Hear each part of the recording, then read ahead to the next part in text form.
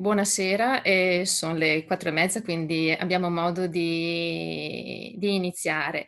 Allora mi ripresento, io sono Monica Biglio, direttrice del Dipartimento di Economia e questa è son felice che sia già ter il terzo incontro che che riusciamo a fare di questi, ehm, seminari online dedicati agli impatti della dell'attuale situazione di emergenza sanitaria. Come ho già avuto modo di dire in occasione delle precedenti dei precedenti incontri, per noi come Dipartimento è un'occasione da un lato di portare a conoscenza e in discussione quelle che sono l'attività, le valutazioni, il lavoro, la la passione, l'impegno, la ricerca dei dei colleghi sui temi collegati, dall'altro l'occasione di fare comunità, sia per i nostri studenti, ma sia anche per una comunità più ampia.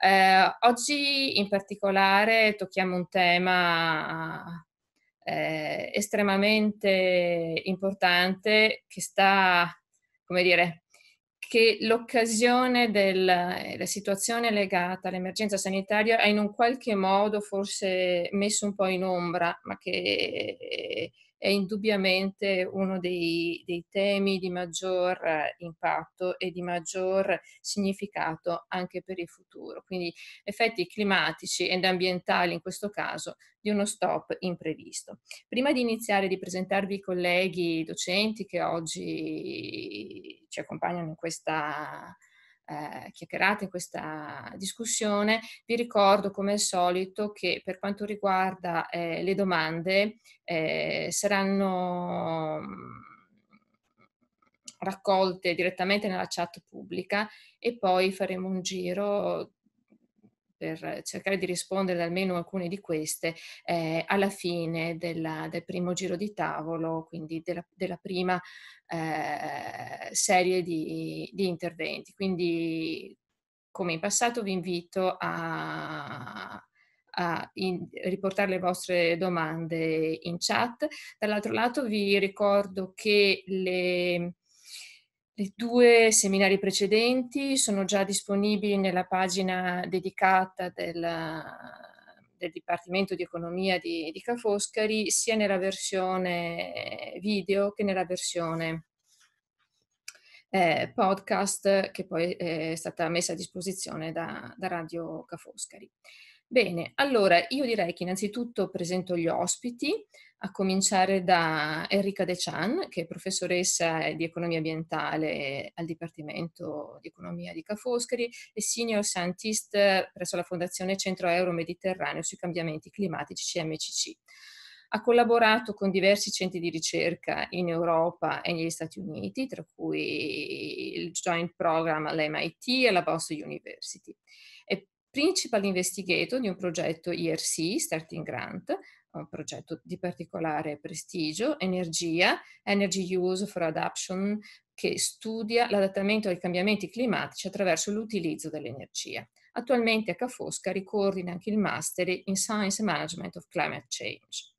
Eh, a seguire c'è Marinella Davidi, che è assegnataria di una borsa di ricerca Marie Curie eh, presso Ca' Foscari, si occupa dell'analisi di politiche nazionali e internazionali per la lotta ai cambiamenti climatici. Collabora anche con il Centro Mediterraneo sui cambiamenti climatici, CMCC, e al momento è in distaccamento presso l'Università di Harvard, quindi è collegata da Harvard, dove sta svolgendo i primi due anni del suo progetto di ricerca legato alla Marie Curie. Eh, Carlo Giupponi è professore di economia applicata e ambientale presso il Dipartimento e, e Dean della Venice International University. La sua attività di ricerca si concentra sulla scienza della sostenibilità e le interazioni fra sviluppo e driver di cambiamento globale, approfondendo in particolare i metodi di valutazione e gestione integrate delle risorse naturali con particolare attenzione all'acqua. I suoi contributi metodologici originali più rilevanti sono nel campo dell'integrazione disciplinare attraverso lo sviluppo di metodi e strumenti che adottano l'analisi dei sistemi eh, dinamici e spaziale eh, e la modellistica integrata per la valutazione e il supporto decisionale. Infine, eh, Stefano Battiston, che è un, collega recentemente arrivato a Ca' Foscari, eh, proprio dal, dal, mese di, di marzo, è professore di finanza presso, presso, il Dipartimento e anche al Swiss National Science Foundation eh, al Dipartimento of Banking and Finance dell'Università di, di Zurigo. È esperto di network economici e finanziari, rischio sistemico e finanza sostenibile. Ha coordinato diversi progetti europei, tra cui i progetti del nell'ambito del Future Emerging Technologies, il Simple Dolphins, che studiano come aumentare la stabilità finanziaria e meglio indirizzare la finanza verso investimenti sostenibili. È attivamente coinvolto anche nella Task Force on Macroeconomic Efficiency and Stability, diretta dal premio Nobel Joseph Stiglitz e finanziata dall'Institute of New Economic Thinking. In questi giorni è stato anche coinvolto nella discussione e redazione del prossimo report IPCC sui temi della finanza sostenibile, appunto. Allora, dopo la presentazione dei colleghi, eh, inizierei con, eh, con, Enrica in particolare, eh, che ci parlerà soprattutto di energia e transizione e che quindi ho, mi sono permessa di sbloccare il microfono di Enrica. Ciao Enrica. E, e, allora, in particolare, le eh, misure restrittive che in questo momento sono state imposte non solamente in Italia, ma in diverse, moltissime, moltissimi paesi, eh, hanno avuto ripercussioni notevoli, ovviamente, in primis sulla produzione, poi sulla mobilità eh, e quant'altro. E diversi studi ovviamente hanno già immediatamente messo in evidenza come questi, questo blocco eh, abbia degli impatti importanti eh, sul, sul, prodotto interno lordo, quindi sulla, sull'economia. In, vedendo a questo e anche osservando quando è successo, cosa è successo ieri sul mercato del petrolio, visto il future che è diventato negativo, cosa che nessuno mai in finanza ha visto, vedere un prezzo diventare negativo. Eh, come sta reagendo il settore energetico a questo shock? Allora, quando parliamo di settore energetico, ehm, una prima variabile che, che è interessante analizzare che ci può dare delle informazioni interessanti su come mm, queste misure di contenimento stiano impattando sia il sistema energetico ma anche l'economia, è la domanda di elettricità.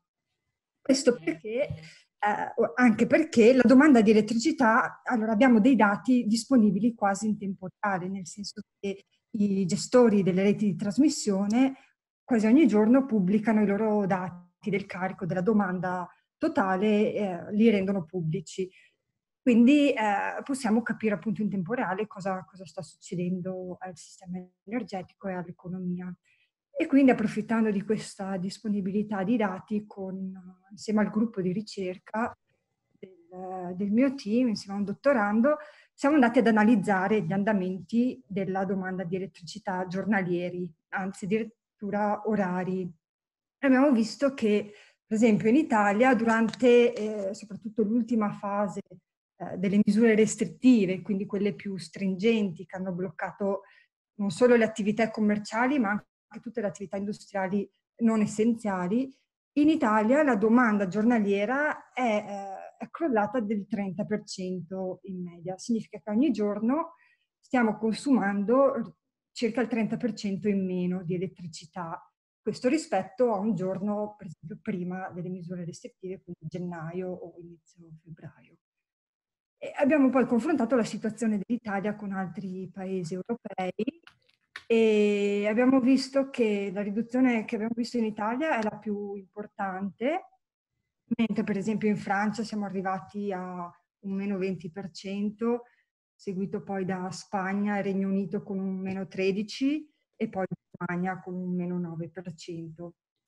Eh, c'è anche da dire che l'Italia è l'unico paese che ha messo il blocco anche alle attività industriali, mentre gli altri paesi si sono limitati a, a bloccare le attività commerciali. E, ehm, quindi questa è una prima considerazione. L'altro aspetto interessante che abbiamo visto analizzando i consumi nelle varie fasi ehm, di misure, perché vi ricordate all'inizio sono sostanzialmente state, si sono chiuse le scuole e è stato imposto un distanziamento sociale più che altro volontario, le attività economiche continuavano a funzionare. Ecco, durante questa prima fase, allora in Italia abbiamo avuto un, abbast- un calo abbastanza moderato, circa del 2%, quindi poca cosa, eh, però nei paesi come Francia e Germania, che hanno implementato le stesse misure, ma con un ritardo eh, di circa una settimana, dieci giorni, solo la chiusura delle scuole e il distanziamento sociale volontario ehm, hanno ridotto la domanda elettrica giornaliera di circa 6-9%, quindi un po' di più. E adesso, vabbè, queste sono analisi ovviamente in corso, preliminari, però ehm, gli impatti che abbiamo visto durante la prima fase, quella di chiusura delle scuole e distanziamento sociale volontario, forse in qualche modo possono darci un'indicazione di quello che è stata la riduzione dei consumi, essenzialmente grazie mh, soprattutto allo smart working al fatto che molte persone non sono più andate a lavorare ma hanno lavorato da casa. Quindi è legato più alla mobilità che, che alla riduzione di, di produzione? Sì, al fa- alla mobilità, però questi sono i consumi elettrici, quindi la mobilità è il fatto che le persone non si sono spostate, sono rimaste a casa, non sono andate in, in, ufficio essenzialmente. E, ehm, sono riduzioni importanti anche perché da una parte ovviamente i consumi delle attività produttive, commerciali, industriali si sono ridotte, ridotti, però allo stesso tempo eh, il settore residenziale ha avuto un aumento perché persone a casa, più consumi domestici e ehm, adesso al momento ancora non siamo in grado di distinguere i consumi settoriali perché non abbiamo questi dati, però eh, ci sono già indicazioni ovviamente che il settore residenziale ha aumentato i consumi. Quindi questo sul lato, diciamo, elettricità e poi ehm, ci sono le implicazioni che riguardano appunto il mercato del petrolio. Ovviamente di fronte a un calo di domanda così, così importante abbiamo, avuto, abbiamo visto appunto i crolli uh, del prezzo del petrolio che è passato da 70 dollari per barile circa, che avevamo inizio anno, a 20-25 eh, in questi giorni. Prezzi bassi che ovviamente mettono in difficoltà paesi produttori che eh, ottengono 80, ma anche il 100% delle loro risorse dalla, dall'esportazione di questi, di queste risorse, quindi eh, sicuramente il rischio di una crisi non solo economica ma anche eh, sociale, essendo comunque paesi fragili, alcuni di questi fragili. Alcuni di questi indubbiamente. E è cosa... storico, e con questo poi concludo, questa, è anche un momento storico perché prezzi bassi del petrolio è un'occasione per togliere alcuni di quei sussidi, che noi diciamo sussidi perversi, nel senso danno degli incentivi a consumare top, troppo petrolio perché sono dei sussidi che riducono i prezzi al consumo del petrolio. In di, in un contesto di prezzi bassi, è l'occasione per togliere questi sussidi che assorbono anche molte risorse eh, finanziarie, quindi si potrebbero liberare miliardi di, di dollari, oggi diamo circa 300, più di 300 miliardi di dollari a, per sussidiare il consumo del petrolio, togliere questi sussidi per liberare risorse eh, in questi paesi che sicuramente eh, sì, sono in difficoltà e dobbiamo un attimo ripensare.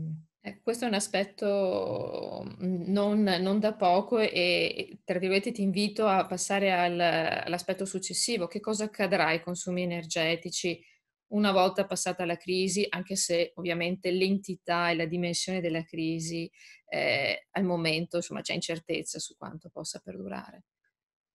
Sì, infatti eh, ovviamente tutti adesso fanno, c'è la tendenza a fare un confronto con la crisi del 2008-2010, però è stata una crisi piuttosto rapida, nel senso che in un paio d'anni poi eh, la domanda di elettricità, per esempio, è tornata a crescere, il PIL è tornato a crescere. La cosa interessante è che comunque, per esempio, la domanda di elettricità è tornata a crescere dopo la crisi del 2008-2010, ma um, non come prima.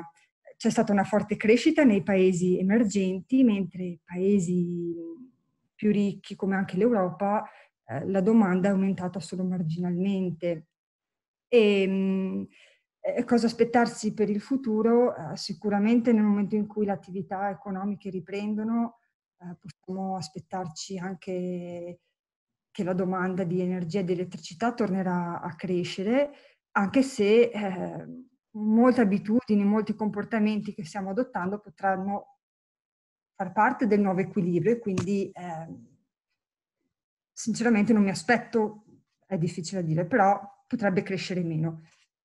La cosa interessante è che, che comunque questa crisi sta avvenendo in un momento eh, di trasformazione strutturale non solo dell'economia ma soprattutto del sistema energetico e del sistema elettrico. E anche perché appunto eh, siamo in un contesto dove le rinnovabili già hanno avuto una forte penetrazione eh, nel sistema elettrico e anche questo è un punto molto, molto diverso crisi del precedente, del 2008-2009, eh, quando solare e, e, e, eolica erano un punto di, di partenza. Ora, per esempio, l'anno scorso il 75% della nuova capacità installata era uh, fonti rinnovabili. E anche qui siamo andati a vedere i dati giornalieri di produzione di elettricità in, questa, in questo periodo di crisi. E è stato interessante vedere che l'unico vettore energetico che in questa fase è in aumento è, è il solare, perché sono energie, fonti che una volta nel sistema il costo marginale è zero, quindi perché produrre energia dal sole una volta che eh, gli impianti sono installati non ha un costo aggiuntivo, e quindi e questo ha portato anche a dei benefici economici, perché abbiamo visto anche una riduzione dei prezzi dell'elettricità grazie a questo cambiamento di mix energetico. Quindi dei benefici diretti e immediati sia in termini di riduzione dei prezzi e in termini anche di ulteriore riduzione delle emissioni. Quindi due fattori che hanno contribuito, il fattore di scala di riduzione della della domanda, del volume dell'economia e il fattore più tecnologico di cambiamento del mix energetico che ha contribuito. Quindi anche se si ripartirà con la, la domanda di elettricità tornerà a crescere, è la speranza che questa crisi sia anche un po' un'opportunità per accelerare la trasformazione che è già in corso. Ecco, e quindi da qui qualche implicazione anche per il futuro in termini di emissioni di gas ad effetto serra, eh, la possibilità stessa di rimanere dentro gli accordi di Parigi visto, visto il stop, come, come la vedi in, in, questa direzione? Quindi andando oltre l'immediato dopo, ma appunto in futuro un po' più a medio-lungo termine. Eh, esatto. Qui si tratta di, di vedere se eh, la riduzione di emissioni che stiamo vide- vedendo in questo periodo, che probabilmente vedremo per il 2020, sarà, è una riduzione temporanea oppure una riduzione che eh, diventerà in qualche modo permanente. Dobbiamo vedere se effettivamente il 2020 sarà l'anno di picco delle emissioni, che poi rimarranno in un trend decrescente nei prossimi anni oppure no perché appunto la riduzione che vediamo um, in questo momento, una riduzione in un anno non, nel contesto dei cambiamenti climatici è poco rilevante, dove appunto si guardano le emissioni accumulate nel tempo, dove eh, per raggiungere, per riuscire a limitare eh, di temperatura parliamo di riduzioni del 7% l'anno. Adesso le stime che, che circolano in questo momento parlano di un 5-6% nel 2020. Quindi ci stiamo allineando con il tipo di riduzione che, che è necessaria. Ovviamente il tipo di transizione e di riduzione che vogliamo vedere nei prossimi anni non è una riduzione che viene dal collasso dell'economia, ma è una riduzione che viene da una trasformazione strutturale, quindi da un disaccoppiamento tra la crescita economica e appunto le emissioni. Disaccoppiamento che eh, è già in corso perché in Europa, per esempio, già, eh, già dal 90, il, per esempio dal 90 il GDP, il PIL in Europa è cresciuto del 60% e le emissioni si sono ridotte del 23%, quindi il disaccoppiamento che è già in corso, dobbiamo accelerarlo, renderlo più veloce. Questo sarebbe uno dei, degli effetti positivi, insomma, diciamo, della, della situazione. Allora, mi permetto di, su questi spunti, anche sulla, eh, sull'aver citato gli accordi di Parigi, anche sulla, sulle valutazioni in merito alla ne- negoziazione e cooperazione, eh, a passare alla, all'intervento di, eh, di Marinella, e che intanto saluto. Eh, Marinella e, e ehm, la prima domanda è proprio legata alla, a quali conseguenze insomma, ci possiamo aspettare per quanto riguarda eh, i negoziati eh, delle Nazioni Unite sui cambiamenti climatici e più in generale le, le negoziazioni.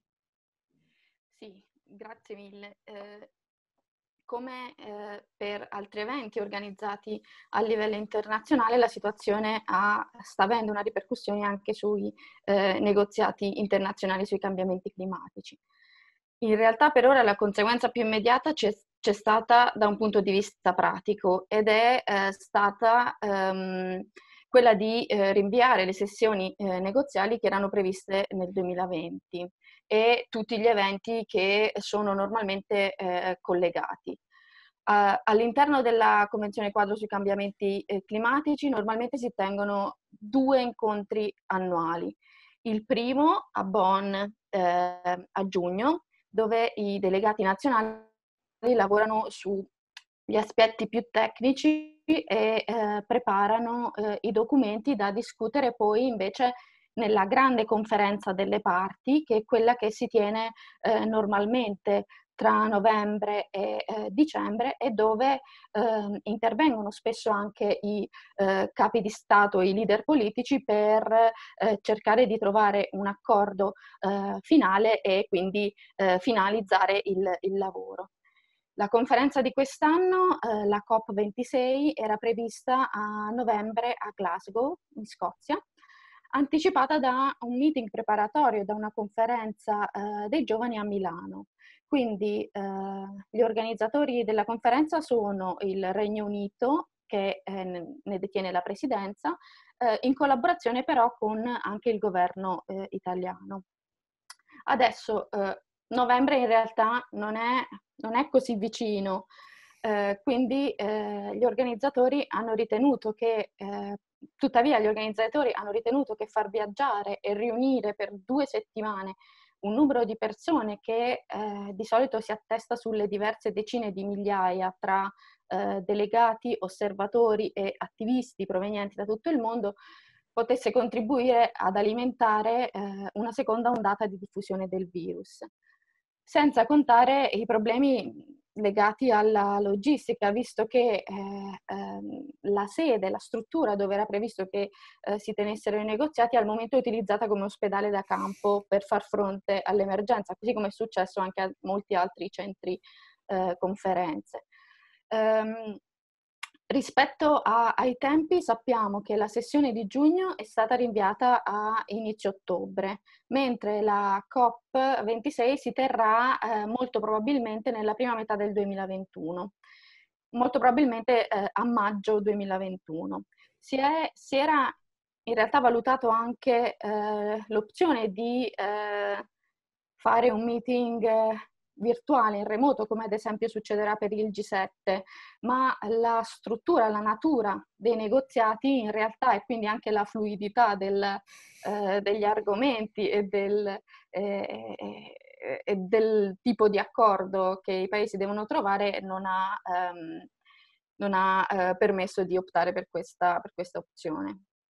Sì, beh, immagino che negoziati sia difficile e che da capire quanto questo possa, tra virgolette, aiutare a andare poi in una certa direzione o disincentivare rispetto, rispetto a questa.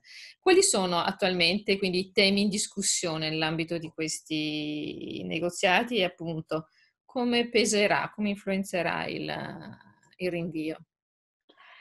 Il compito principale della conferenza di Glasgow è quella di eh, chiudere le ultime questioni riguardanti l'attuazione dell'accordo di Parigi eh, che, sono ancora, che sono rimaste in sospeso.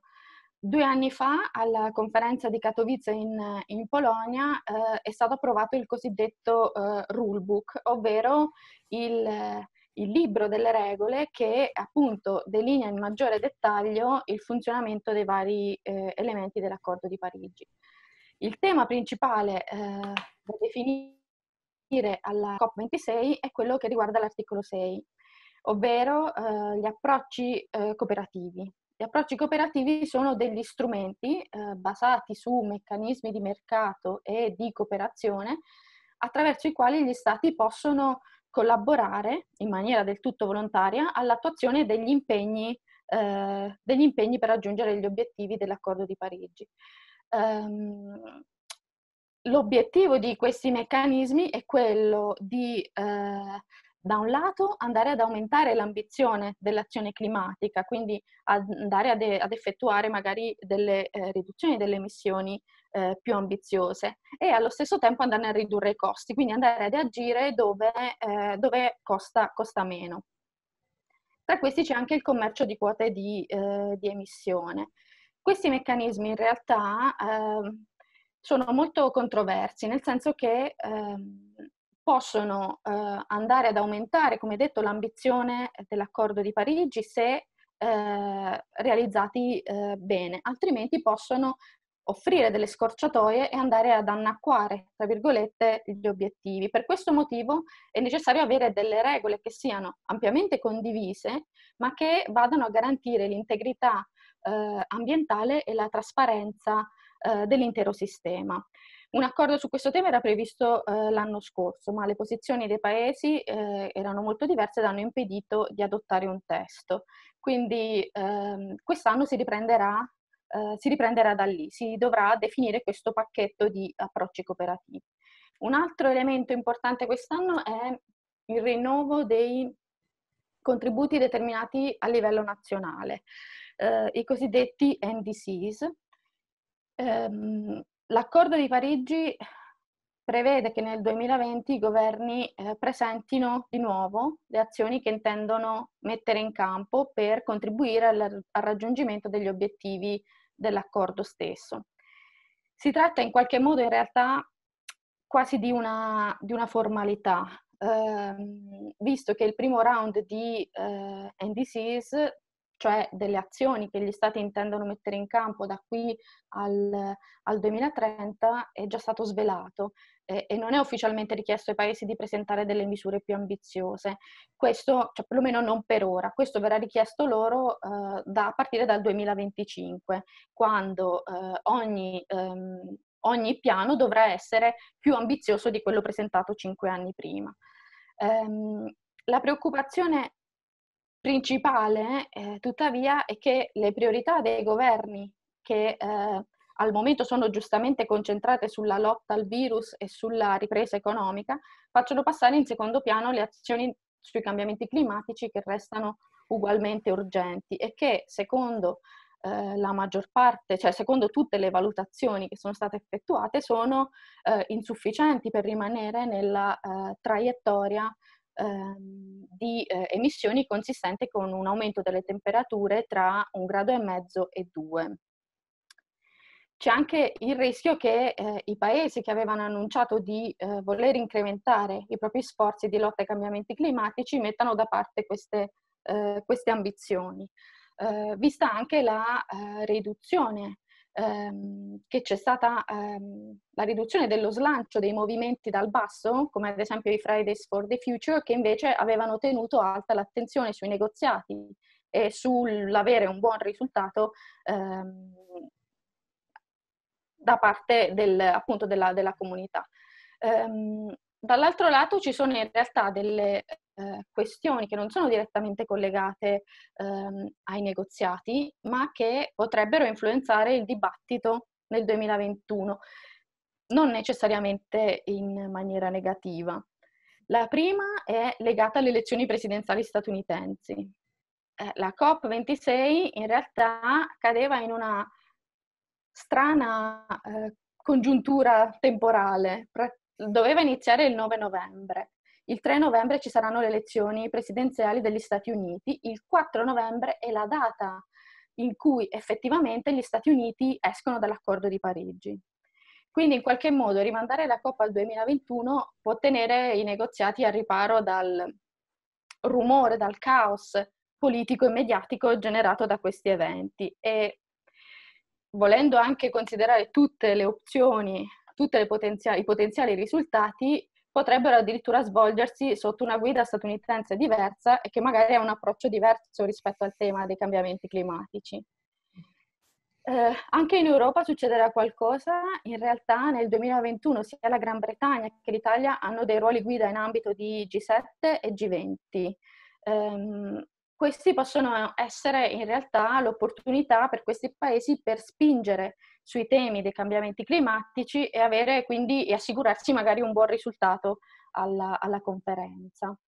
In ultimo c'è la questione del eh, supporto scientifico all'azione climatica, la pubblicazione del eh, sesto report di valutazione del Comitato Intergovernativo per i cambiamenti climatici, l'IPCC, ehm, è prevista a partire da aprile 2021. Ci sono tre report principali, uno sulla scienza, uno sugli impatti, uno sulle politiche, che verranno eh, pubblicati a partire quindi da aprile eh, 2021. I negoziati del prossimo anno ehm, in realtà anche quelli immediatamente eh, successivi potranno quindi svolgersi alla luce di un'evidenza scientifica più aggiornata che tenga conto quindi anche di un contesto di azione mutato rispetto a quello che era lo scenario eh, di, qualche, di, qualche, mese fa.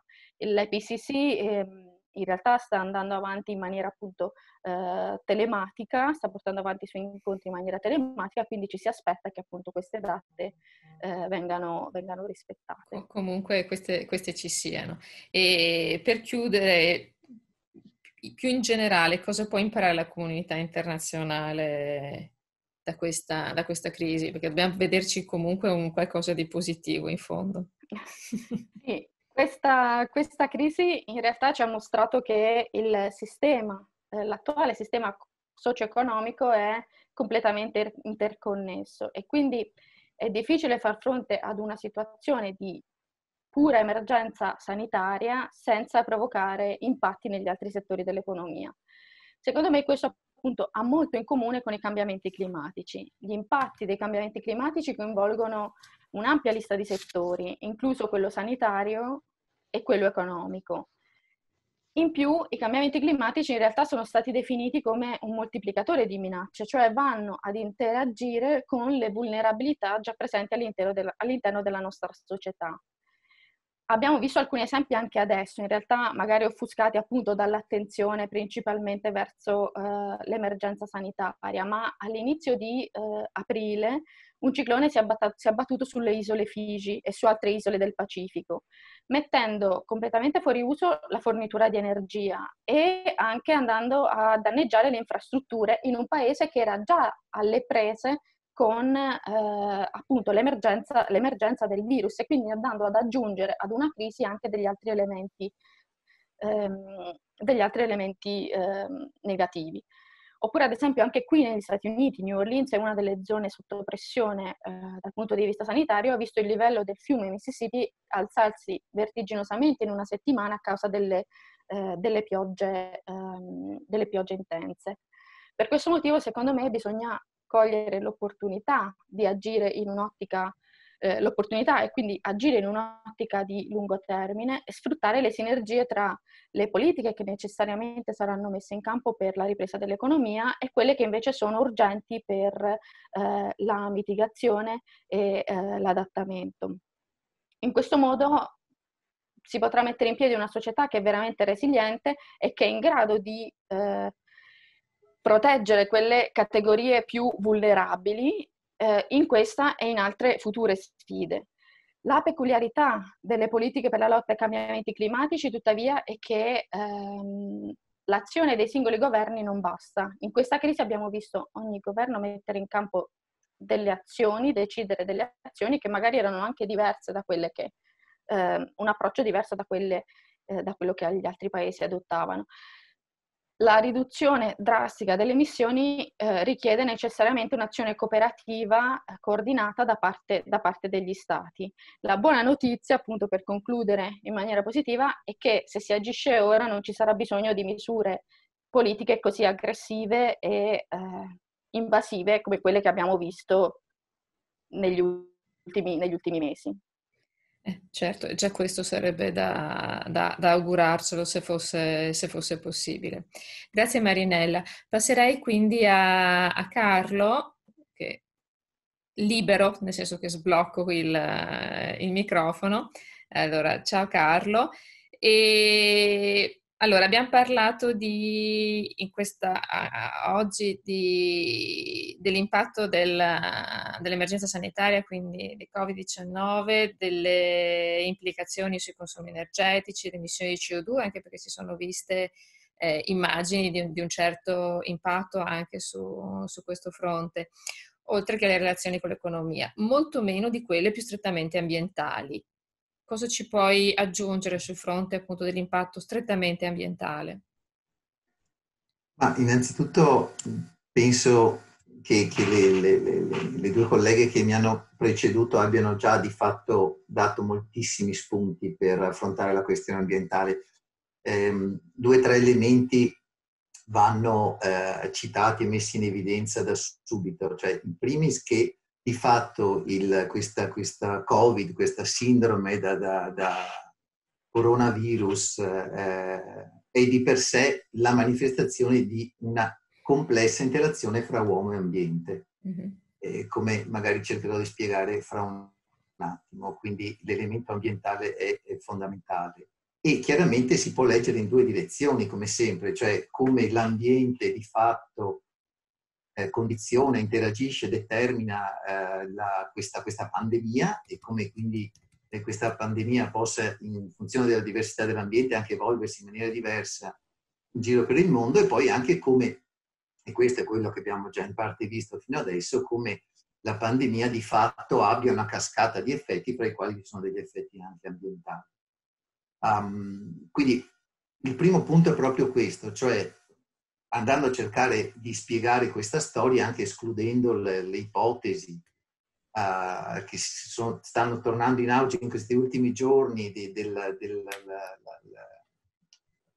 fatto che questo virus venga da un qualche laboratorio dove è scappato in qualche modo, in ogni caso l'ipotesi di base degli scienziati è quella che questa è una zoonosi, cioè che eh, è un virus che si è trasmesso da animali dove eh, questo stava lì magari chissà da quanto tempo, eh, in maniera accidentale all'uomo a causa chiaramente di una gestione inappropriata delle relazioni fra uomo e ambiente, laddove in questo caso le relazioni sono fra uomo e animali.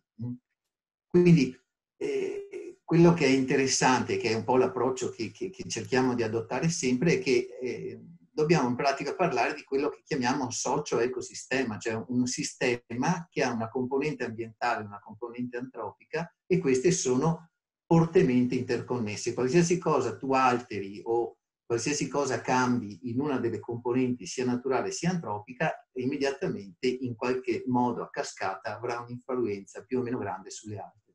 Quindi venendo magari così per non, per non, dilungarsi troppo su qualche esempio di questo eh, ruolo dell'ambiente sul eh, coronavirus e poi magari parleremo se c'è tempo dopo dell'altro. Eh, anche qui potrei fare tre esempi mi sembrano interessanti.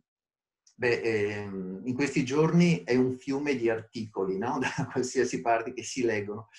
Eh, interessante per esempio proprio per in poche parole, in italiano, è uscito recentemente da Marino Gatto, del Politecnico di Milano, ieri o l'altro ieri, questo articolo, lui parla proprio di continuum ecologico, cioè un continuum che eh, ha messo in relazione tutti questi elementi e ha scatenato una, una, una reazione di fatto assolutamente inaspettata, inusuale e catastrofica. E dentro però tu ci puoi mettere tutta una serie di elementi che eh, hanno determinato quello che è successo. Per esempio la globalizzazione dei trasporti, che citerò anche fra un attimo col secondo esempio. Eh, e la globalizzazione dei trasporti è alla base di questo, di questo fenomeno, eh, ma poi potresti andare a vedere n di queste cose, cioè la gestione della biodiversità il, e, e, ovviamente i cambiamenti climatici che hanno chiaramente un ruolo molto, molto importante interessante che proveremo anche quello a approfondire. Mm, quindi questo continuum ecologico in primis. La seconda cosa è ci sono ormai parecchi studi che sono già stati pubblicati sulla eh, relazione che esiste fra coronavirus e clima in, termini più meteorologici, cioè proprio quello che c'è in questo momento.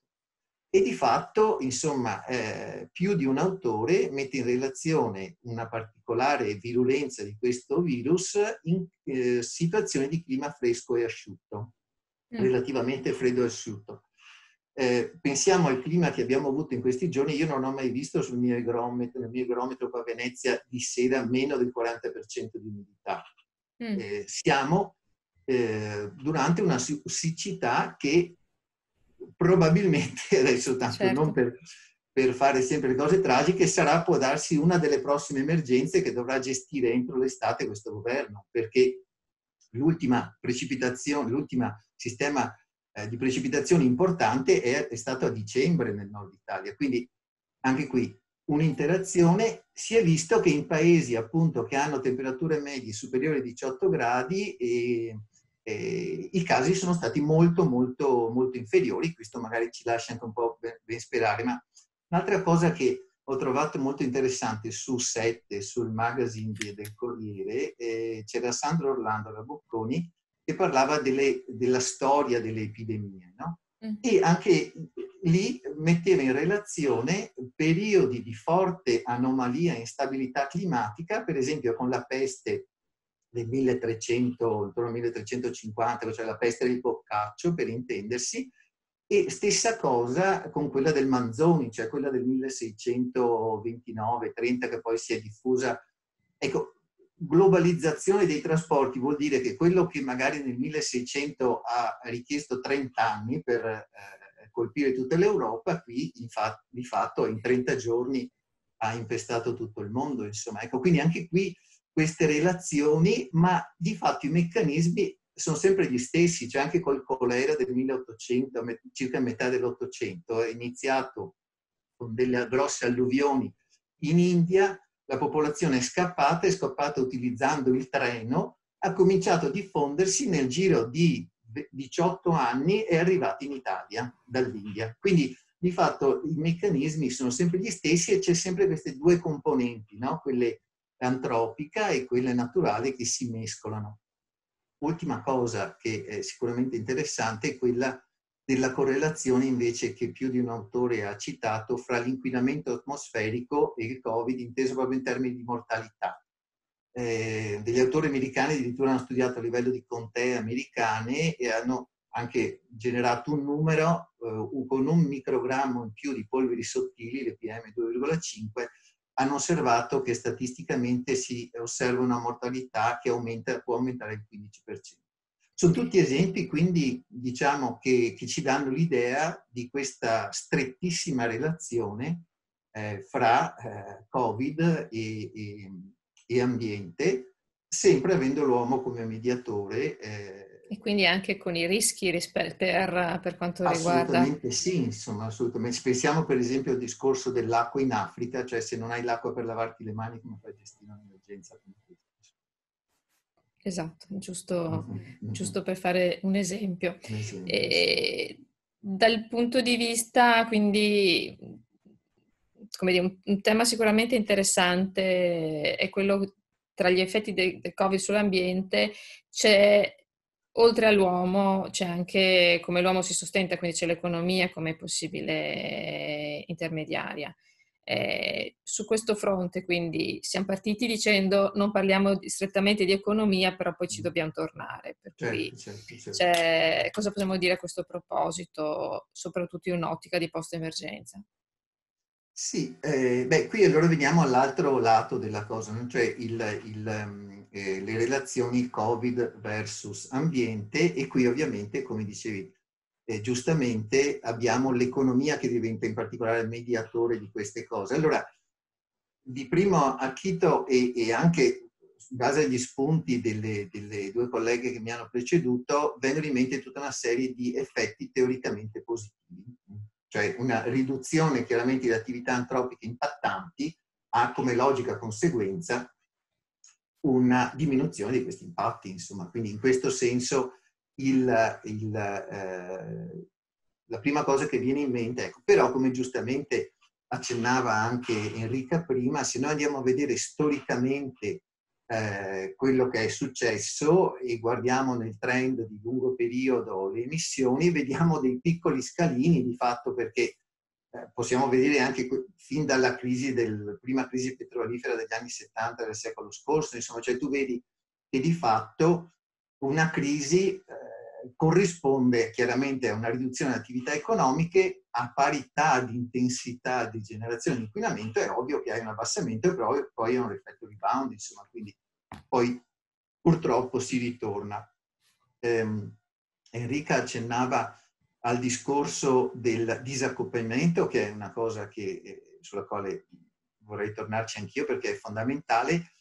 Eh, se, qui dipende da dove guardiamo, no? cioè se noi guardiamo all'Europa, eh, sicuramente il, Uh, osserviamo questo, questo, sempre crescente disaccoppiamento, però purtroppo non è una cosa che accade allo stesso modo in, in tutto il mondo e quando tu guardi le, le, tendenze a livello globale, questo effetto anche di questi grossi miglioramenti che abbiamo avuto in Europa eh, li vedi diciamo decisamente un po' meno.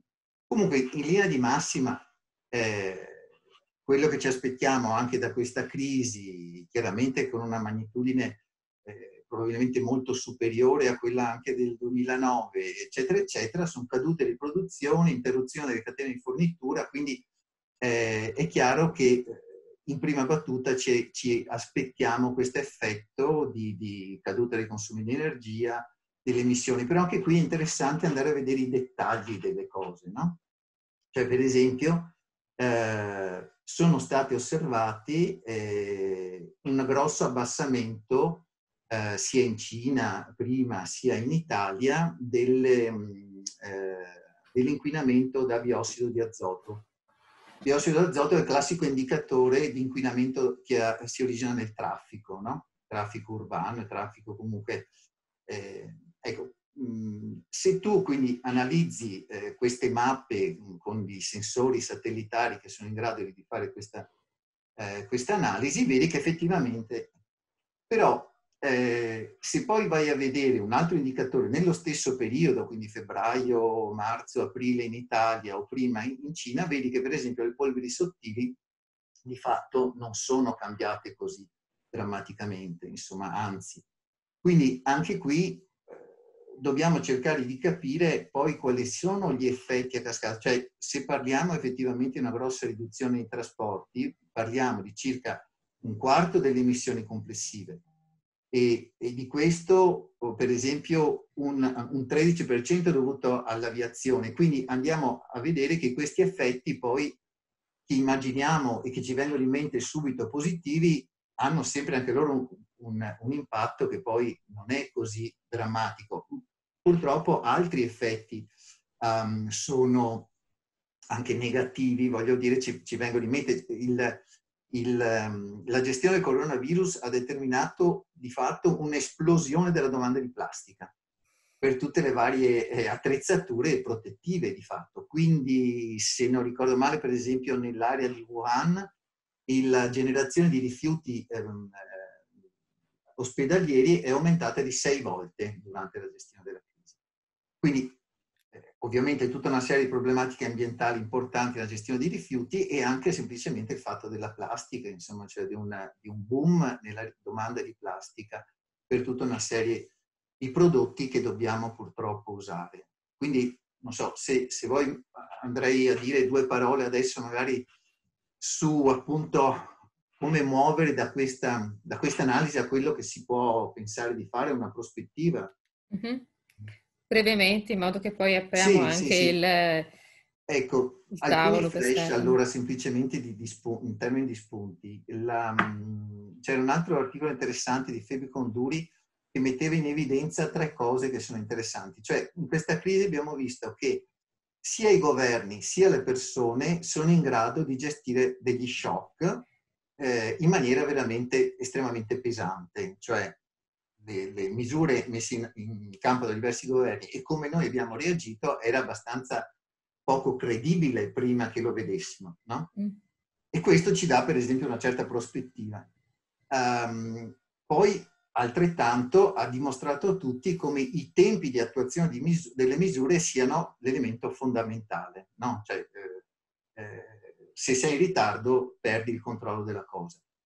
Um, altra cosa interessante è che di fatto la crisi è stata gestita a livello di Stato nazionale, non a livello di organizzazioni internazionali. L'Organizzazione Mondiale della Sanità ha avuto un ruolo marginale molto discusso. Questo, per chi si occupa un po' di cambiamenti climatici, è molto interessante, insomma, perché rafforza ancora di più questo parallelismo fra la gestione del Covid e la gestione del problema dei cambiamenti climatici con, su delle scale temporali che sono completamente diverse. Qui abbiamo dovuto gestire di giorno in giorno, riparliamo degli anni, eccetera.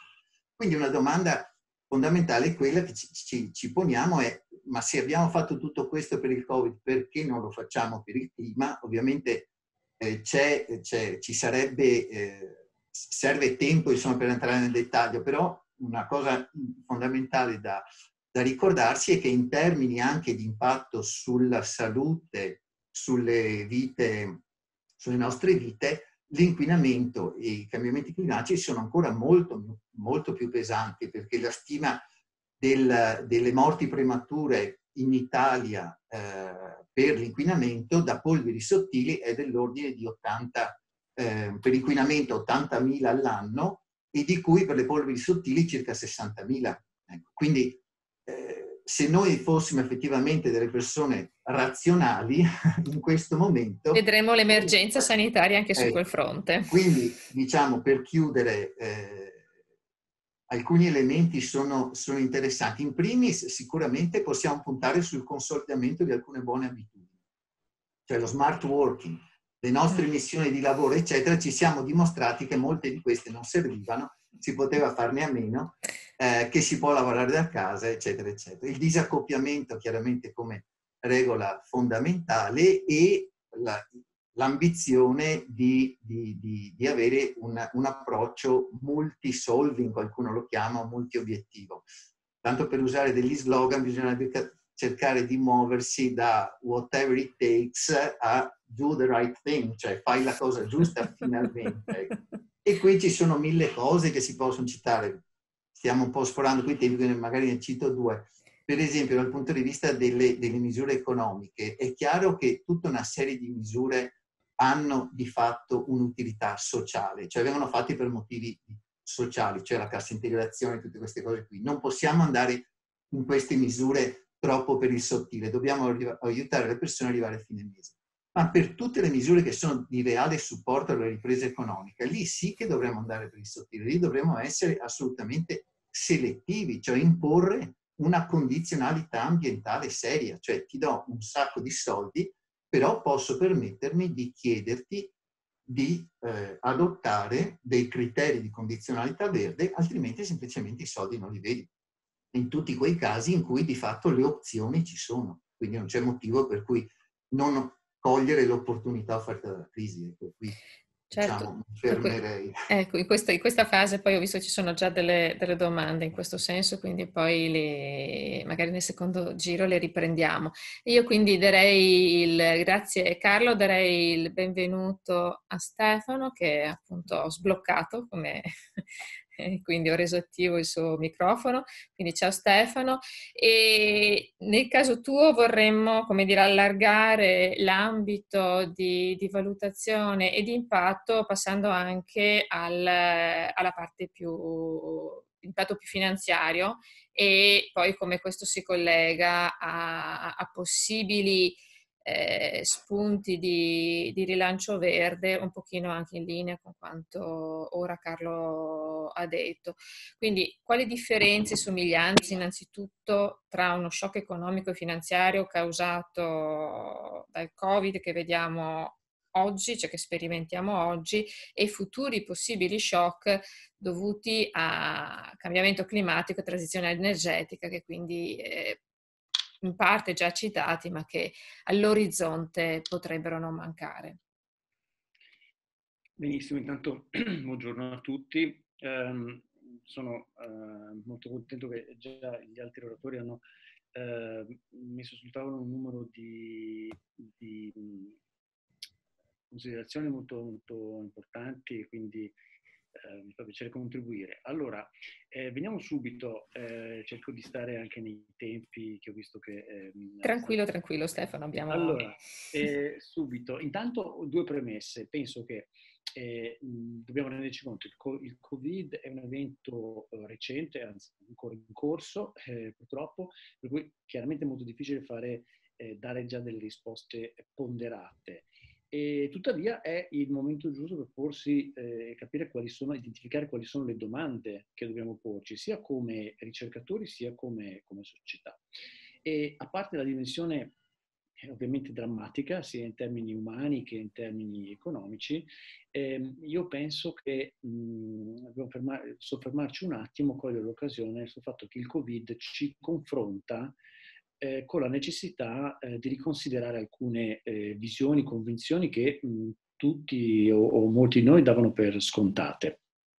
E ehm, ehm, in particolare eh, questo mi, mi, mi mi, mi, porta a fare una serie di, di, considerazioni, e un po' riprendendo quello che era stato prima anche detto da, da Carlo. Cioè, la prima cosa, ci rendiamo conto eh, eh, nel momento in cui la sicurezza eh, dei cittadini, eh, sicurezza immediata è in gioco, improvvisamente eh, quello che abbiamo visto è che i governi sono, diventano eh, disponibili a eh, imporre tutta una serie di, eh, prendere tutta una serie di decisioni abbastanza drastiche che mh, mhmm, mai e poi mai in altre situazioni ci saremmo aspettati. E le imprese sono, diventano anche eh, disponibili a venire a termini con questo.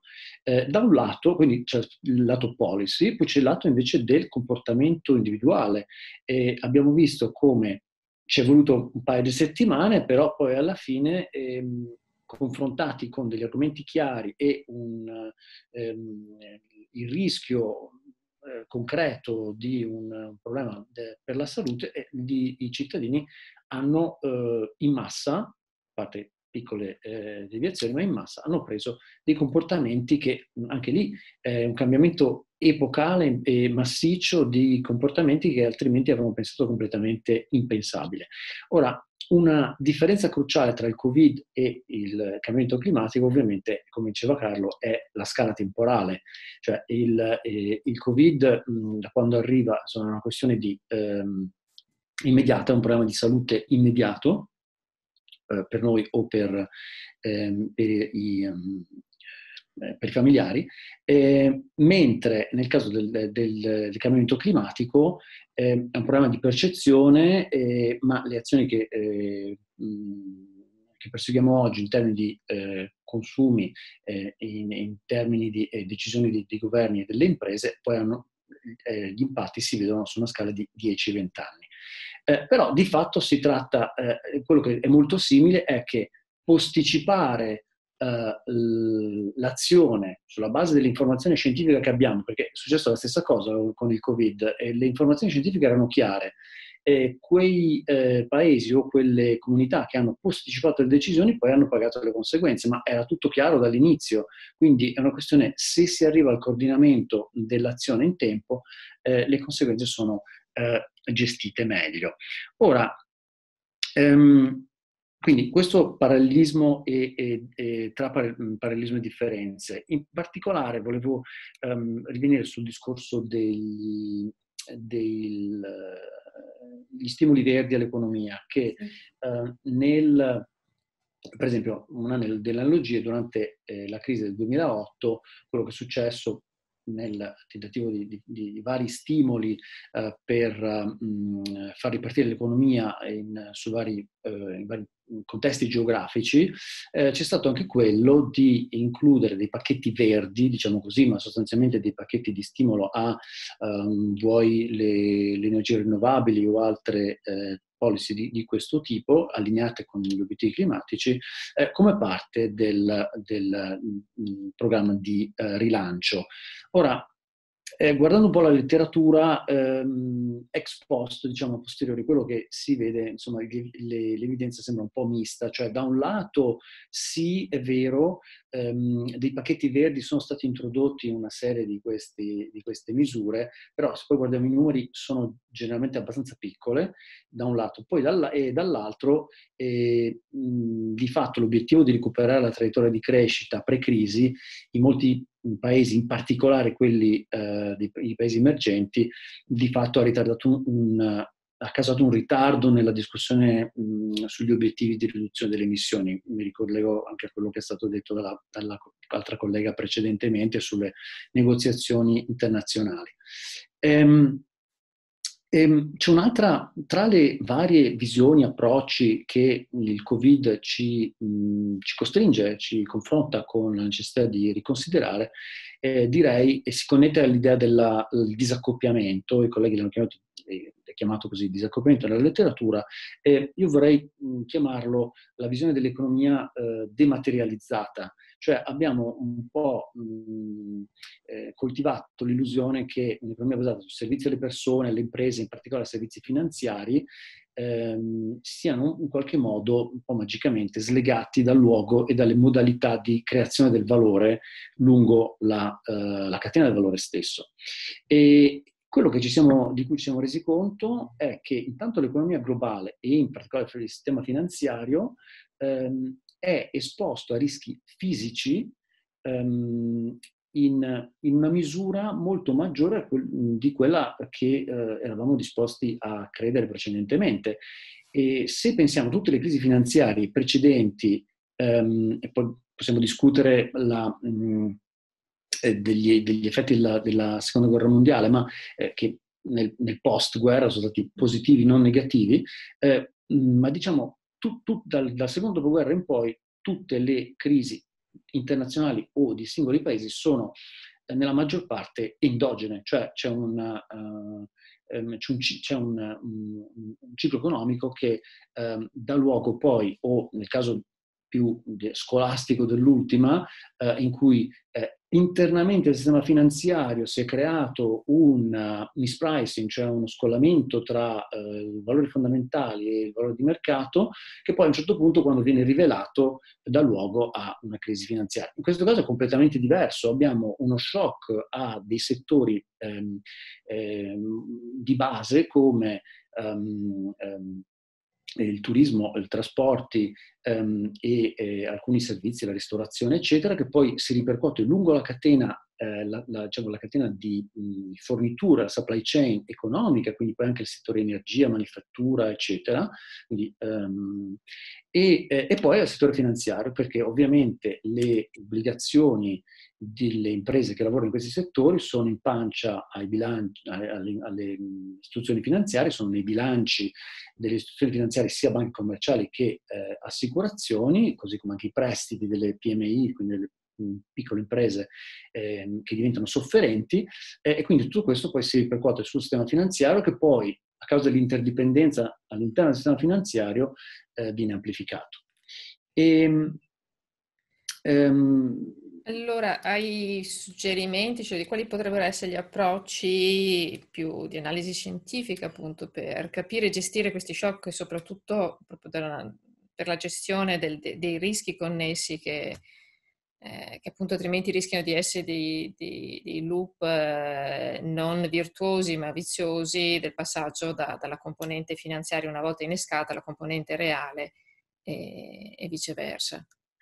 Eh, esatto, allora eh, diciamo ci si rende conto che è poss- è, diventa molto difficile capire appieno, poi anche misurare da un punto di vista scientifico, le conseguenze di questi shock se non si eh, tengono in conto le interdipendenze dei rischi. la composizione dei rischi, cioè da un lato ci sono rischi ambientali eh, di cui ho parlato di, e la relazione nelle due direzioni con i rischi di pandemie, di cui um, che ha spiegato e discusso molto bene Carlo, e poi la relazione di questi con gli impatti climatici. Quindi tutte queste, queste tre cose tra di loro già si possono rinforzare perché eh, in, in, un contesto di, ehm, eh, per esempio, in, in, un contesto di ehm, eh, inquinamento ambientale più elevato, ecco che stessa, lo stesso shock di pandemia poi si può, può avere un'evoluzione diversa.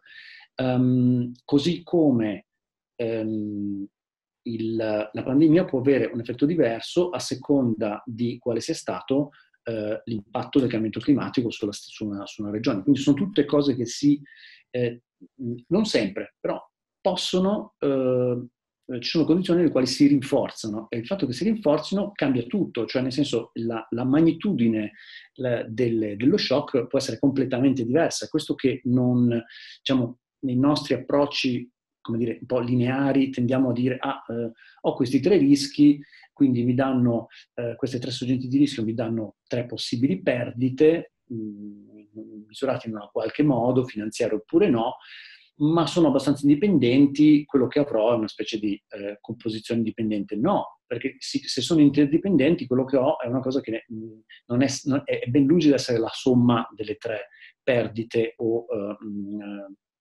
come dire, eh, la somma in un contesto di, di, di shock indipendenti. E, ehm, e, lo strumento chiaramente per analizzare queste interdipendenze è uno strumento che si è, si è sviluppato negli ultimi, negli ultimi anni e si, è imposto è la teoria delle reti, in particolare la teoria delle reti finanziarie.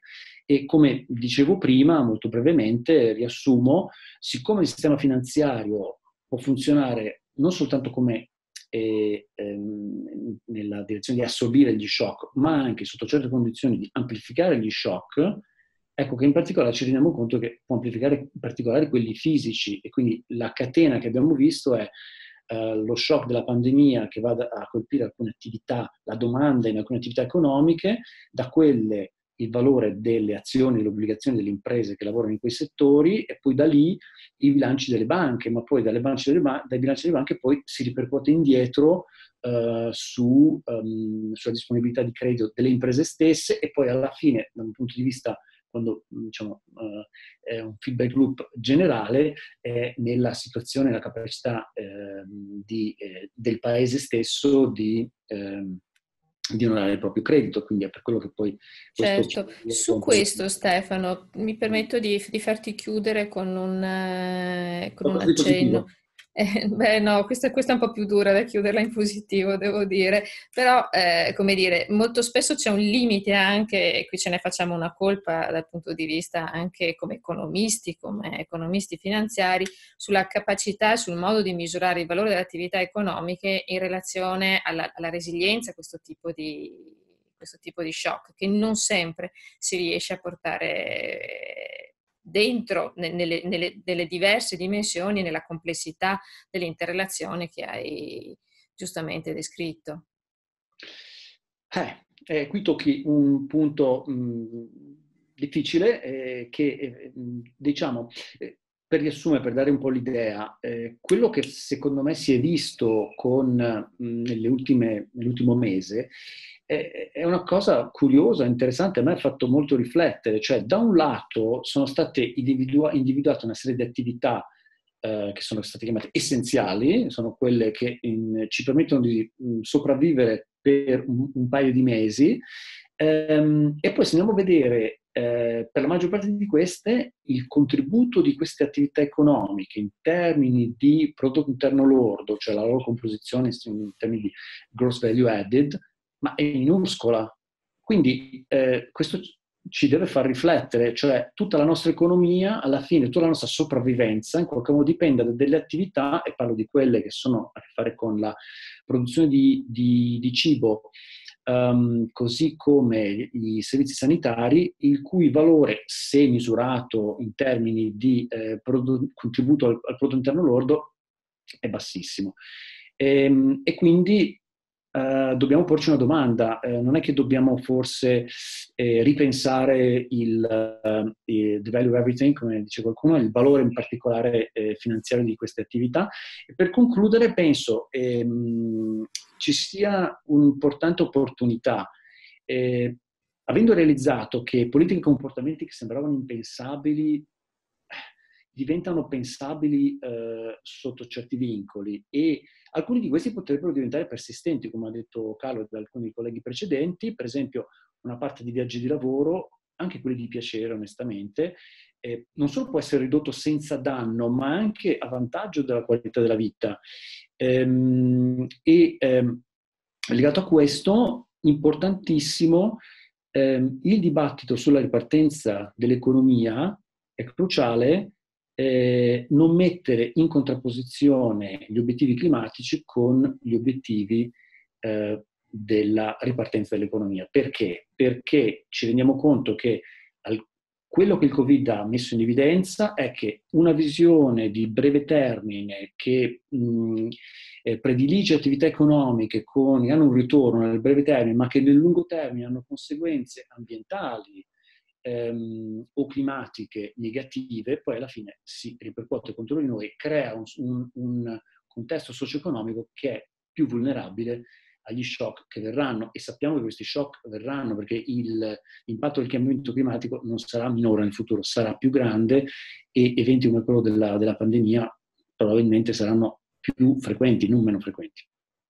Grazie Stefano, grazie eh, per, per, questo primo, primo giro. Eh, adesso mi permetterei di riprendere alcune delle domande che sono apparse in chat, quindi partendo da, da Enrica. Eh, non so Enrica se hai già avuto modo di vederle, vederle scorrere, altrimenti te le riporto. Dimmi tu se, se vuoi rispondere direttamente o ti riporto le, ma stavo dando un'occhiata, sì, vedevo che c'era... Allora, cioè, ci, al di là di qualcuno che chiedeva a quali sussidi sì. e petrolio ti riferivi, eh, piuttosto cioè, il calo verticale della domanda di petrolio di questi giorni in un qualche modo è un anticipo dei tempi che verranno, nel senso dello spostamento delle generazioni di energia dal fossile ad altri mezzi rinnovabili. Se è vero, in che misura, ma qui è un po' difficile, si vedi la, il, l'andamento del prezzo del, del, petrolio per tornare ai livelli di, di prima? Un'altra domanda riguarda il rischio che questa caduta dei prezzi del petrolio, che ha colpito tutti, cioè te l'ho portata anch'io all'inizio perché è, è oggettivamente la, la, notizia di ieri che ha lasciato più tutti colpiti. Eh, c'è il rischio che questa caduta dei prezzi, invece questo è l'altro pezzo della medaglia, costituisca una minaccia per la transizione verso energie rinnovabili. Eh, perché appunto nel momento in cui una fonte energetica diventa meno costosa diventa più facile utilizzarle. Quindi eh, post crisi è immaginabile che numerose imprese in sofferenza vedano nel prezzo del barile ai minimi storici eh, un'opportunità per un rilancio dell'attività utilizzando quel tipo di energia e non, e non altro. Sì, sì allora in, in, tempi normali, in un contesto diciamo di eh, normalità, una riduzione dei, dei, dei, prezzi del petrolio in qualche modo si traducono in riduzione dei prezzi per esempio della benzina o di prodotti petroliferi che quindi stimolano eh, la domanda.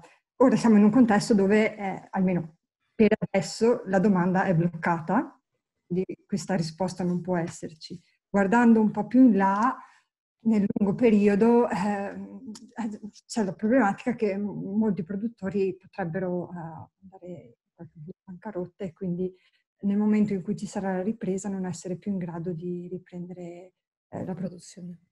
A questi prezzi non, non, non è sostenibile. E, e quindi sono due aspetti. Da una parte, diciamo dal lato dell'offerta, sicuramente è un'occasione per ripensare le strategie di, di investimento di lungo periodo.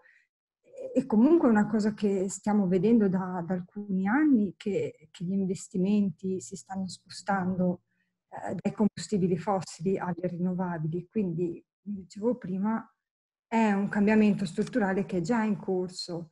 Eh, io credo che questa crisi dovrebbe anche mettere in evidenza che la, la, la, sicurezza energetica è un'altra problematica, un'altra questione, quindi avere un sistema energetico eh, basato su una fonte eh, non ci permette di rispondere in modo, ci crea delle difficoltà quando si manifestano degli shock come questi. Quindi un sistema più diversificato eh, che si, si, fonda anche su energie sviluppate in, in loco, quindi rinnovabili, eh, può essere e è visto anche dagli investitori come una strategia più, più sicura.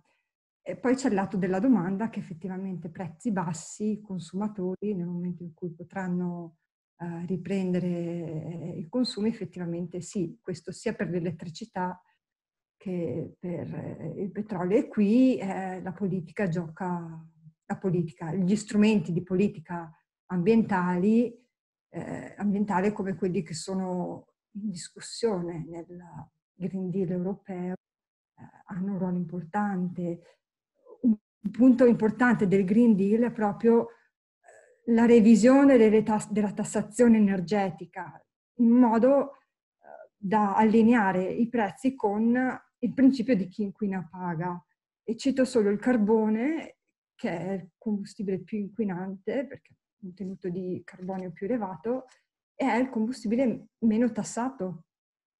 Quindi qui eh, sicuramente giocherà un ruolo importante eh, il, il, pacchetto europeo che si sta discutendo in questi giorni, quindi rivedere gli incentivi che quindi modificano i comportamenti al margine, gli aspetti distributivi, quindi il fatto che alcuni settori effettivamente possono perdere molto, anche questi vanno poi affrontati con altri strumenti che vanno a far fronte alle problematiche più di equità. Ecco, grazie, grazie Enrica. Una domanda per, per Marinella. Prenderei l'ultima arrivata che mi sembra eh, sì, riguardo alla possibilità di svolgere una parte insomma, dei, dei, dei, negoziati in modalità telematica, ma soprattutto cioè, negli ultimi tempi si è discusso molto sul fatto che la lotta ai cambiamenti climatici non possa aspettare. Ora però appuntamenti fondamentali come la COP26 subiscono rislittamenti temporali importanti che forse da un lato possono essere anche positivi rispetto al quadro che prima delineavi, però comunque che rischiano di, di dare, far passare il messaggio che la lotta ai cambiamenti climatici è un impegno praticamente sempre posticipabile. Sì, ehm, allora brevemente volevo, volevo, rispondere in realtà sì alla, alla domanda sulla, sulla, partecipazione, sulla partecipazione okay, sì. virtuale, giusto perché in realtà è un argomento molto importante che non è eh, eh, e che non nasce adesso con, con la crisi, eh, con la crisi del, appunto del Covid. Um, credo che in realtà non sia stata totalmente esclusa la, l'opzione, la, mh, si è esclusa la possibilità di averlo esclusivamente in maniera virtuale perché appunto anche per le delegazioni, soprattutto pensando anche a quelle dei paesi in via di sviluppo, questo avrebbe minato anche la eh, partecipazione eh, in maniera eh, equa delle, delle, dele- delle varie delegazioni. Um, negli ultimi anni gli, l'UNF, l'UNFCCC ha um, in realtà aperto alcune delle sessioni a ehm, ad una partecipazione virtuale in streaming. E la questione, secondo me, io sono d'accordo in realtà con Elisa, la eh, questione è eh, molto importante e quindi probabilmente eh, potrà essere l'opportunità, come in altri settori, quello appunto dello smart working, di riuscire ad, ap- ad ampliare la partecipazione, di prendere questa come l'occasione per ampliare la partecipazione eh, alla conferenza. Per quello che riguarda invece la, eh, la domanda eh, sì, in realtà, mh, mhmm, eh, in realtà bisogna vedere i cambiamenti climatici appunto in un'ottica eh, integrata. Gli stati hanno eh, diverse priorità, alcuni hanno priorità ancora di eh, sviluppo economico, eh, altri hanno, ehm, hanno, priorità più di tipo, più di tipo appunto ehm, in altri in cui appunto l'agenda, l'agenda ambientale non è, l'agenda sui cambiamenti climatici non è, eh, non è, non è una priorità. Quindi eh, il rischio che, eh, che, i cambiamenti climatici vengano visti eh, come qualcosa che si può posticipare in generale è anche in questo caso non soltanto relativo al rinvio della, della, della conferenza, ma come dicevano anche eh, il professor Giupponi e il professor Battiston, che ehm, vadano a finire in, in, secondo piano rispetto ad altre, eh, ad altre priorità, c'è, c'è, sempre, c'è, sempre, stato. Quello che eh, appunto eh, eh, è opportuno fare è mantenere l'attenzione, quindi anche il ruolo della comunità scientifica, mantenere l'attenzione sui cambiamenti climatici in modo che appunto si vada a, eh, ehm, a non mettere in pratica eh, politiche che eh, abbiano degli effetti, eh, degli effetti negativi. Grazie, grazie Marinella. Una domanda per Carlo, non so se mi permetterei di passarti questa. Ci sono delle reali basi per affermare che questa crisi possa costituire un'occasione di accelerazione verso l'auspicato Green New Deal europeo oppure eh, sì, caso opposto, cioè sarà una, un'occasione ancora più persa? Le, le, basi teoriche sono evidenti e gli spunti penso che siano emersi un po' da tutti gli interventi di oggi, insomma, cioè il fatto che l'opportunità ci sia. A me quello che preoccupa è, è, la tempistica in sostanza. Sappiamo che gli interventi che dobbiamo mettere in atto eh, devono essere estremamente veloci e, e, quindi anche quello che dicevo prima riguardo la condizionalità, e c'erano state domande anche su questo, è, è effettivamente una sfida importante, quindi dobbiamo avere un, un, un grande pragmatismo e quindi um, mantenere le nostre ambizioni, però per esempio eh, voglio dire, anche sul fatto dei finanziamenti e delle condizionalità verde, abbiamo gli strumenti tipo il, non so, anche la tassonomia europea sul, sulla sustainable fund, sulla finanza sostenibile, cioè abbiamo gli strumenti là, dobbiamo riuscire a rendere queste cose operative, ma io direi che proprio eh, per volare un po' più basso, ma eh, quindi con, dobbiamo perlomeno, eh, come diceva Marinella, eh, cercare anche nel micro di stare alla larga da tutti gli effetti collaterali perversi, insomma, cioè da, da tutti gli effetti non intenzionali, ma che di fatto ci possono portare in una situazione critica, dire vabbè, in questo momento rilassiamo le regole e, eh, e, e, e accettiamo delle cose che non avremmo accettato in un altro momento. Eh, chiedo scusa, c'è Qualcuno che sta condividendo il, il video, non capisco. Vabbè. Eh, passerei comunque a una domanda per, per Stefano, eh, che mi permetto di, di riportare. Eh, scusatemi se... Eh,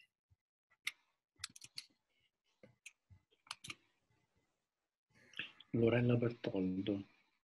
Sì, infatti sto vedendo, ma non... non... Schermo, forse una... Sta... Si leggeva giusto ieri del, dei buchi di Zoom. Eh, infatti non vorrei che fosse qualcosa del... Vabbè, eh... eccolo qua, forse ci siamo, perfetto. Eh, chiedo scusa. Ecco, Stefano, lascerei a, a te due parole per chiudere con eh, anche con quella sollecitazione rispetto al, all'utilizzo anche di strumenti finanziari per che un po' la ripresa Carlo, però eh, per, per, spingere verso, cioè se ci sono effettivi modi per rendere da una parte il, il, dire, il supporto che viene ricevuto, dall'altro gli investimenti, l'indirizzo degli, l'indirizzamento degli investimenti in, in condizioni di investimenti più sostenibili, diciamo, genericamente? Mm-hmm. Eh, allora, eh, mi, mi, ricollego a quello che diceva prima anche, anche Carlo. Sì. Dunque, mi sembra che questo aspetto della condizionalità sia molto importante. Come dicevo prima, eh, è importante rendersi conto, e questa è una riflessione che dobbiamo fare secondo me, sia all'interno della professione eh, gli economisti sia eh, più, in maniera più, più, larga a livello della società. Non c'è necessaria, non, non c'è un, necessariamente una contrapposizione tra gli obiettivi eh, climatici e gli obiettivi della ripresa economica. Eh, si tratta di fare le cose nel modo giusto, non, non è che eh, necessariamente la ripresa deve essere per forza attraverso um, una ripresa massiccia dei consumi di, um, um, di energia fossile. E, Carlo suggeriva, beh, un modo potrebbe essere questo appunto, per esempio, di eh, legare eh, gli aiuti alla una condizionalità delle varie attività. E giustamente menzionava la, eh, la tassonomia della finanza sostenibile, che è un passo molto importante che è stato fatto dalla Commissione europea. Eh, io ho avuto il um, piacere di, di, contribuire all'assessment finanziario di, della, della, tassonomia stessa e offro una base di partenza molto importante per capire quali sono le attività, um, secondo la lista delle classificazioni di Eurostat quali sono quelle che sono potenzialmente considerabili eh, eh, sostenibili, nel senso almeno di contribuire in maniera positiva, non negativa, alla transizione eh, energetica. Ehm, quindi ehm, poi diciamo ci sono eh, il diavolo nei dettagli, però eh, l'importante è eh, partire con, con, il passo giusto, la direzione giusta, rendersi conto eh, che non c'è a priori questa contrapposizione e poi andare a scegliere ehm, e chiaramente eh, lì poi, siccome ovviamente vengono toccati interessi di diverse parti ehm, economiche della società, eh, lì c'è una discussione poi di come queste, ehm, questa suddivisione sia equa, però la, la soluzione c'è, ecco eh, questo insomma, è importante partire da questa considerazione. Ecco, ed è importantissimo, e ti ringrazio Stefano, anche nel, nel, nell'essere espliciti rispetto al fatto che non ci sia questa contrapposizione, non c'è un... Cioè, eh, il, il, sostenere eh, le attività in questo momento può essere l'occasione buona e utile invece per arrivare a non imporre la condizionalità, ma quantomeno spingerle nella, nella direzione di scelte eh, più, più, sostenibili. Peraltro come Dipartimento di Economia, come anche attività di ricerca, su questo ci, siamo, ci stiamo investendo anche personalmente, ma anche Stefano ed altri colleghi, anche per fornire delle soluzioni che portino a, da un lato a prendere correttamente in, in, considerazione le dimensioni, diciamo in termini molto ampi di sostenibilità nella, nella valutazione stessa degli investimenti e più in generale dell'affidabilità eh, finanziaria e dall'altro lato di trovare quelli che sono gli strumenti utili per poter permettere e favorire l'investimento in ambito sostenibile e mm. utilizzando il termine sostenibile eh, è volutamente molto ampio perché appunto le dimensioni possono essere di, di vario genere. Io direi che con questo abbiamo concluso la nostra chiacchierata odierna nei tempi che ci eravamo previsti. Io ringrazio moltissimo i colleghi e ringrazio tutti i, i partecipanti. Prima di chiudere colgo l'occasione per ricordarvi i prossimi appuntamenti, in particolare l'appuntamento della settimana prossima di martedì 28 è un appuntamento che è diventato eh, particolare. Eh, abbiamo ospite il professor Pasquale Tridico, presidente dell'INPS, eh, che quindi torneremo ad affrontare eh, l'impatto del Covid sul sistema di sicurezza sociale e previdenziale.